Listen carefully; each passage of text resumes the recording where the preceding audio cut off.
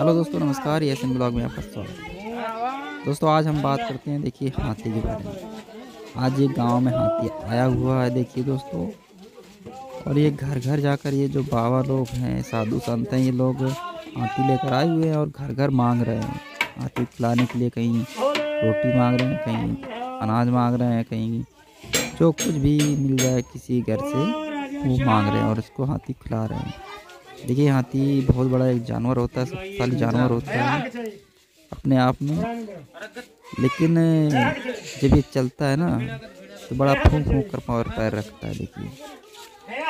क्योंकि एक चींटी इसके सूंड में अगर घुस जाए ना तो इसकी ज़िंदगी को ख़त्म कर सकती है। देखिए भैया, ये दरवाजे पे आके खड़ा हो गया है हाथी और अपने भोजन की प्रतीक्षा कर रहा है।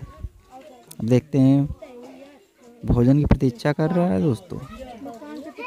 जब तक इसको भोजन नहीं मिलेगा यहाँ से जाने वाला नहीं है।